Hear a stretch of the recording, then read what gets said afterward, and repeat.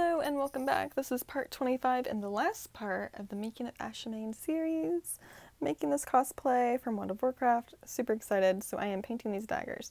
So I did four, no sorry, three coats of Plastidip, which you see on that side, and then the other side I did three coats of a metallic brown spray paint. So after that, give it plenty of time to dry. I went in with acrylics. Now I used cheap acrylics here from Walmart, and that was a big mistake. I had to keep layering the paint one, and that's why it took eight hours to paint one dagger. They were twin daggers. So uh, if I went back, I would get better quality paint, but at this point I had two days to get these done before the convention, and actually I finished these the morning of the convention, the same day I had to compete. So it was quite stressful, but I got them done. Um, but yeah, I would definitely use not paint from Walmart, a better brand. But I started with my darker turquoise color and I decided to use this first for all of my crystal pieces on here. Um, I felt like that would be best. I had a lighter aqua color to use as a highlight and for accents on the crystal pieces. Um, I'm using a dark brown at the moment, very dark brown mixed with a good bit of black to paint the inside of his little runes for the fangs. I dropped my camera. Um, and then I use some creams and browns and such to paint the fang, which is what I'm doing right now. It's a very sped up video. I think it's like times 12 or something like that. It's very quick.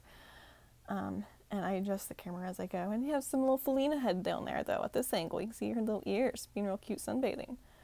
Um, but yeah, so I started with that the crystal pieces, then I went into the tooth pieces, and then I went in last with the gold pieces since those are the pieces that kind of stand up and out and away from things, I thought that would be best. And then after that, I went in with all the little detail bits. So, um, but I did do all the little details for the fang piece first because I was very iffy on how this was going to go. Um, as I said before, my grain on the tooth kind of got washed out with all the layers of Plastidip and such, so I had to kind of fake it a bit with various shades of brown and whatnot, creams and all that. So it ended up working pretty good. I got a lot of compliments on how it looked, so um, I'm very picky, and I thought it wasn't good enough, but everyone else did. Um, and apparently, I missed painting gold on that. There should have been a video piece of the gold, but we missed that, I guess. But here it is the gold painted on there. It's metallic gold. And the light blue on the little accents around. I really thought I recorded that, but I cannot find it now. I don't know what happened. I know I was having issues with my phone around that same time, so maybe that's what happened. But I just cut the, I made my own pattern for these little faux leather pieces going off my little screenshot there. And I took the same metallic gold I used for the foam and I painted freehand around the edges. And here I'm just going around with each piece and layering them on, following my little guide over here with some hot glue. To attach them, I did make the mistake of, well, I made a few mistakes when it came to the clear coat. Um, I didn't like how my mat looked with it because everything else uses matte varnish, and since I didn't have time, since at this point the convention was tomorrow, um, I went to Walmart and got a gloss clear coat in the spray paint section, and it would not cure. The conditions were fine, it should have cured. It stayed sticky for like a week, so it was sticky at the convention. It was awful. Um, but especially on that faux leather, it was so sticky it, it wasn't great, but it worked. It looked good. It protected the paint. So, yeah, just don't buy things from Walmart. Is what basically I've learned with these.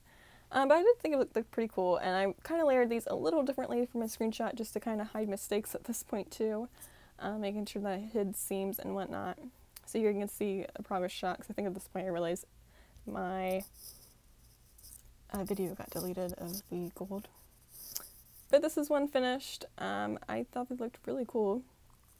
I'm sorry this video isn't very informative. If you do want to know anything about how I painted any sort of things or want me to do an example, I'm totally happy with doing that. As I said, I was con crunching majorly and then also I was having problems with recording. Um, but yeah, if you guys need to see how to do any of this painting wise, I think I did the actual film work construction bit video in the last video very well. So, I mean, of course, anytime if something's not very clear, you can always ask me about it, and I'm happy to help.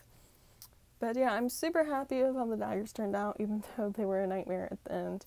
And they were all the costume. It was great. I loved it. I did win Best Armor in the fashion show on Friday night. Super exciting.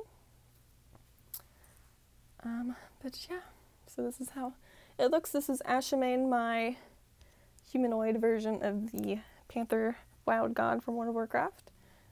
So yeah, and also I wore this in a convention in mid-August, and I was so hot in this, but I figured it would be because it is faux leather, faux fur, and flannel and foam. It's very warm. But it was great. I loved it. Everyone loved it. It was great. And as I was saying, um, thank you so much for watching, and I have links to materials below, the photographers that these photos are from below, and all of that, social media links. So thank you so much, and we'll be making another cosplay soon that will be as many parts, and it'll be fun. This was fun too, though. See you later.